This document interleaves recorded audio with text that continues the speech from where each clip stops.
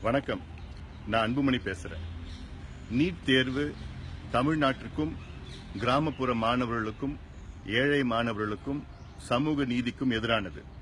சமீபத்தில் நடந்த நீட் தேர்வு முழுமையாக மத்திய அரசு பாடத்திட்டம் சிபிஎஸ்இ பாடத்திட்டத்திலே நடத்தப்பட்டது. இந்தியா முழுவதும் சமீபத்தில் நடந்த தேர்வில் பனிரெண்டாவது தேர்வில் ஒரு கோடியே அறுபத்தி ஆறு லட்சம் மாணவர்கள் தேர்வை எழுதினார்கள். அதில் ஒரு கோடியே ஐம்பத்தி ஆறு லட்சம் மாணவர்கள் அந்தந்த மாநில பாடத்திட்டத்திலே தேர்வை எழுதினார்கள். வெறும் பத்து லட்சம் மாணவர்கள் தான் சிபிஎஸ்இ பாடத்திட்டத்திலே தேர்வு எழுதினார்கள். தமிழ்நாட்டை பொறுத்தவரை ஒன்பது லட்சம் பிள்ளைகள் தமிழ்நாடு சமச்சீர் கல்வி பாடத்திட்டத்திலே தேர்வை எழுதினார்கள். ஆனால் வெறும் பதினாறாயிரம் பேர் மட்டும்தான் தமிழ்நாட்டில் சிபிஎஸ்இ பாடத்திட்டத்திலே தேர்வு எழுதினார்கள். ஆக இந்த நீட் தேர்வு முழுமையாக சிபிஎஸ்இ பாடத்திட்டத்தில் கேள்வியில் கேட்கப்பட்டதால் இந்த பதினாறாயிரம் பேர் எழுதிய அந்த பிள்ளைகளுக்கு தான் தமிழ்நாட்டில் மொத்தம் பாத்தீங்கன்னா மூவாயிரத்தி முன்னூத்தி எழுபத்தி ஏழு மருத்துவ இடங்கள் அரசிடம் இருக்கிறது. அதுல மூவாயிரம் இடம் இந்த சிபிஎஸ்இ பாடத்திட்டத்தில் படித்த பிள்ளைங்களுக்கு தான் போய் சேரும் என்னுடைய கணிப்பு. ஒன்பது லட்சம் பேர் எழுதிய சமச்சீர் கல்வி பாடத்திட்டத்தில் படித்த பிள்ளைங்களுக்கு வெறும் முன்னூறுல நானூறு இடம் தான் போய் சேரும். இது மிகப்பெரிய ஒரு அநீதி. தமிழ்நாட்டுக்கு ஒரு அநீதி. ஏழை மாணவர்களுக்கு கிராமப்புற மாணவர்களுக்கு இது மிகப்பெரிய ஒரு அநீதி இது.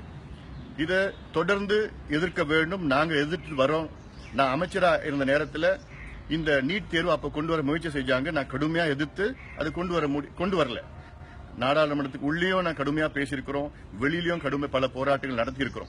ஆனால் தமிழ்நாட்டில் அனைத்து கட்சிகளும் சேர்ந்து ஒற்றுமையாக இதை கடைபிடிக்க வேண்டும். ஆறு மாதத்துக்கு முன்பு தமிழக அரசு ஒரு சட்டம் கொண்டு வந்தாங்க. தமிழ்நாட்டிற்கு ஒரு விதிவிலக்கு நீட் தேர்வு விதிவிலக்கு கொண்டு வரணும்னு. இந்த சட்டம் இப்போ மத்திய அரசுல நிலுவையில் இருக்கு. ஆறு மாதங்களாக நிலுவையில் இருக்கு. இதுக்கு பிறகு இது ஜனாதிபதி கையெழுத்து போட்டாதான் இது சட்டம் முழுமையாக வரும். ஜல்லிக்கட்டுக்கு பாத்தீங்கன்னா இளைஞர்கள் அழுத்தம் கொடுத்ததுனால வெறும் ஆறு நாட்களில் சட்டம் கொண்டு வந்த மத்திய அரசு இப்போ ஆறு மாதங்களாக இது நிலுவையில் இருக்கு. தமிழ்நாடு அரசும் அதை கேட்கறதுக்கு அவங்களுக்கு நாதி கிடையாது. வருகின்ற ஜூலை மாதம் இருபத்தி ஒன்றாம் தேதி வெள்ளிக்கிழமை இந்த நீட் தேர்வை எதிர்த்து சென்னை சேப்பாக்கத்தில் காலையிலிருந்து மாலை வரை நாங்கள் உண்ணாவிரதம் இருக்கின்றோம். பெற்றோர்கள் மாணவர்கள் இளைஞர்கள் கல்வியாளர் கல்வியாளர்கள் சமூக ஆர்வலர்கள் அத்தனை பேரும் வாருங்கள். இந்த நீட் தேர்வை நாம் எதிர்ப்போம். இந்த அநீதியை நாம் எல்லோரும் சேர்ந்து எதிர்த்து இந்த பிரச்சனைக்கு ஒரு தீர்வு காண நீங்கள் அனைவரும் வர வேண்டும் என்று உங்களை பணிவோடு நான் கேட்டுக்கொள்கின்றேன். நன்றி.